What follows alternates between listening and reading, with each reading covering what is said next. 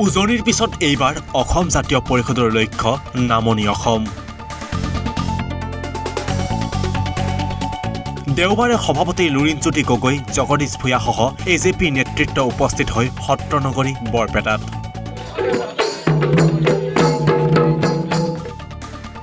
সত্ৰত সেৱা জনাই লুৰিণজ্যোতি গগৈয়ে কয় শংকৰ মাধৱৰ আদৰ্শেৰে অনুপ্ৰাণিত অসম জাতীয় পৰিষদ।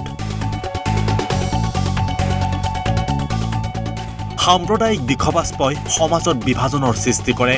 তেনে সময়তে গুৰুৰ আদৰ্শই বাট দেখুৱায়।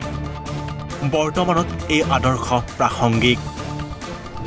বৰপেটা সত্ৰৰ আশীষ লৈ মই অসমৰ জনগণক ক'ব খুজিছোঁ। আমি অসমত সমন্বয়ৰ বৰ ভেটি গুৰু দুজনাই আমাৰ অসমত দি থৈ গৈছিল।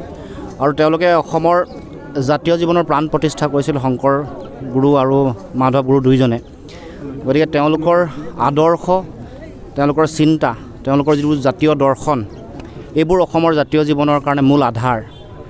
যেতিয়া সমাজলৈ বিভিন্ন সংকট আহে সমন্বয় বৰ ভেটিত যেতিয়া খহনীয়া আৰম্ভ হয় সাম্প্ৰদায়িকতাৰ বিষবাস্পই মানুহৰ মাজত বিভাজনৰ এটা পৰিৱেশ সৃষ্টি কৰে তেতিয়াই মহাপুৰুষ শ্ৰীমন্ত শংকৰদেৱ মহাপুৰুষ মাধৱদেৱ গোপালদেৱ দামোদৰদেৱ এইসকল মহান মনীষীৰ তেওঁলোকৰ চিন্তাই তেওঁলোকৰ আদৰ্শসমূহে আমাক সমন্বয়ৰ দোলেৰে আগবাঢ়ি যাবৰ কাৰণে আমাক সাহস দিয়ে প্ৰেৰণা দিয়ে। গতিকে এই আদৰ্শ এই সময়ত অতি প্ৰাসংগিক।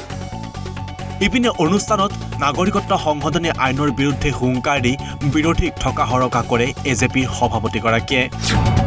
পঁচাশীত আচুৰ ঔৰসত জন্ম হোৱা সন্তানটো ভেজাল জাতীয়তাবাদ। অগপক উভতি ধৰিলে লুৰিণজ্যোতি গগৈয়ে। জাতিটোক বিশ্বাসঘাতকতা কৰা প্ৰতাৰণা কৰা দল হ'ল এ জি পি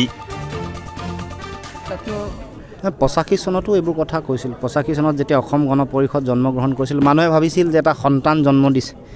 ছাত্ৰ সন্থাৰ ঔৰসত জন্ম হৈছে। এই সন্তানটো স্বাভিমানী হ'ব।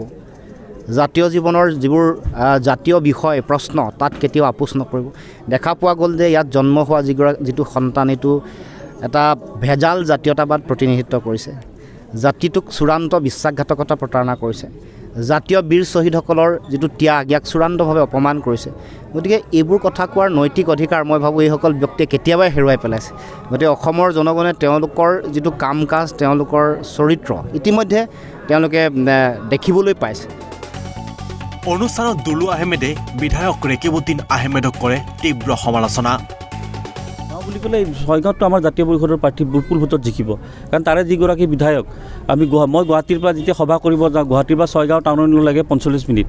আৰু ছয়গাঁও টাউনৰ পৰা গৰৈমাৰীলৈ যাতে লাগে- দুই ঘণ্টা।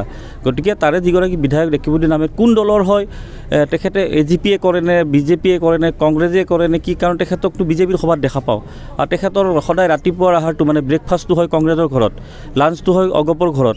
টিটো হয় বিজেপিৰ টিটো হয় ইউ ডি এফৰ ঘৰত আৰু ৰাতি ডিনাৰটো হয় বিজেপিৰ ঘৰত ৰাতি দুটা বজাত। গতিকে তেখেতৰ দিনটোৰ কাৰ্যসূচী মই কৈ দিলোঁ সেইবিলাক ছয়গাঁও সমষ্টিৰ ৰাইজে বুজি উঠিছে।